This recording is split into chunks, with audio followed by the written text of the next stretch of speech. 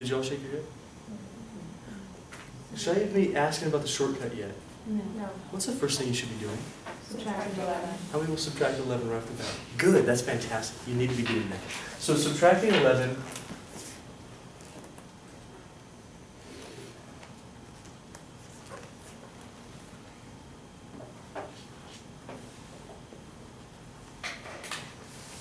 greater than or equal to how much? Negative two. Oh, whoa. That's weird. What do we have here? No solution. I want you to think about it for a second. I want you to think about it for a second. Oh, never mind. Think about it for a second.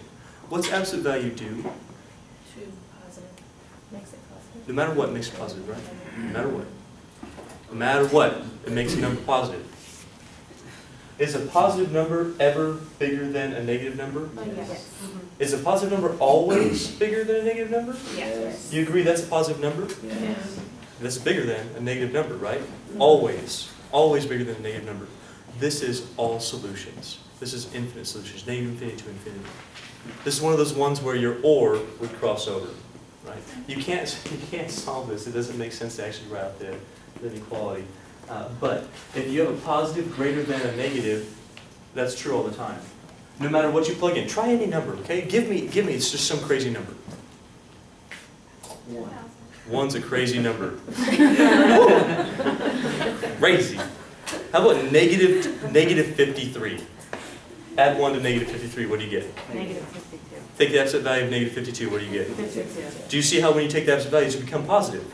Is that greater than negative 2? All the time, no matter what you plug in, and that's what this says. No matter what I plug in, that's always true.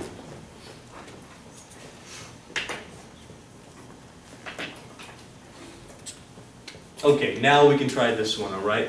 Let's all work on this one together. What's the first thing we do on this problem? Sorry, I kind of threw a curveball at you on that one. You're like, wait a second, Leonard, this is too easy, no solution. Well, actually, it's all solutions. How about this one? What do we do here? Subtract five, isolate absolute value. Good, let's all work on this together to participate up here. We get the absolute value of 4x plus 3 is greater than 5. Y'all need to isolate the absolute value first. That's the first thing you do in every single one of these problems in section 9.2 or 9.3. Now, is my shortcut going to work here? Y'all need to, you need to know that. Is it going to work or not? No. No. It works if it's this way. It does not work if it's this way. The first inequality that we're going to write is 4x plus 3 greater than 5. Without changing anything, uh, someone on the right-hand side of the room, tell me my second inequality. What do I write out? Is what now? Wait, is it going to be greater than or less than? Less than. I'm hearing both people. I'm hearing people say uh, Less than. we have to switch that around. You have to switch it. You change the sign, you flip the inequality. Folks, on or, in, on, on this type of inequality, look at your, your symbols here. They will be facing different ways. Okay, they're going to be facing the wrong ways. Well, the, the correct ways, but different ways, not the same way. Subtract 3.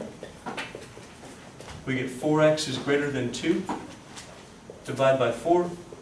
Don't change anything around. Greater than 1 half. Subtract 3. 4x is less than negative 8. Divide by 4. x is less than negative 2. Can you graph this on a number line? Yeah. Do that. Let's do that together. Where does it start? Negative two. Notice if you do this in the correct order, it's already, already there for you.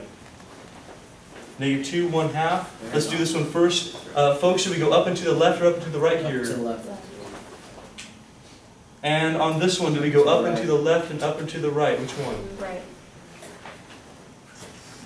Can you graph this with an interval notation? Or mm-hmm. do interval notation with that? Yep. Negative three, it's negative two.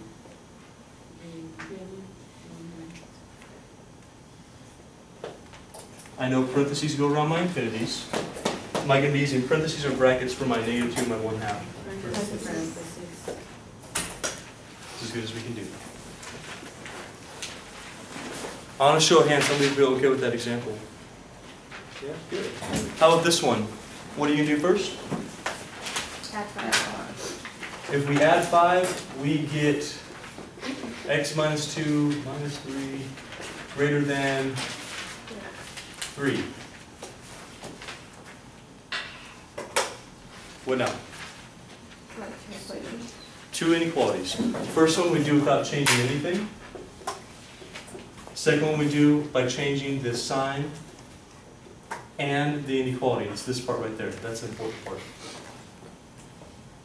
I just want to make sure you don't get stuck on these fractions again. Some people have kind of made some mistakes in their homework with this stuff. When you're doing this, try adding the three first, okay?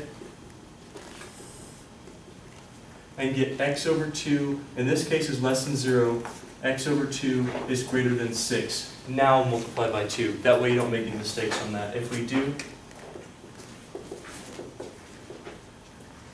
we get x is less than 0, we get x is greater than 12. With our, I'm not going to do the number line, well, I guess I will. Here's 0, 12. It's so easy, it's, it's so fast, it doesn't really matter. Negative infinity to 0, we use some parentheses there because we don't have an equal sign. Union. Union, 12 to infinity. And that's our answer. Hey, do you guys feel okay about this inequality stuff, the absolute value inequalities? We know essentially we're making two equations. With our and, with the ones facing this way, we make the compound inequality, we do it in one step. With the or, the ones facing this way, the ones that are going to go like this, we make two inequalities using the steps that we've just talked about, not changing anything, changing both the inequality and the sign, them both. Put everything in interval notation when you finish.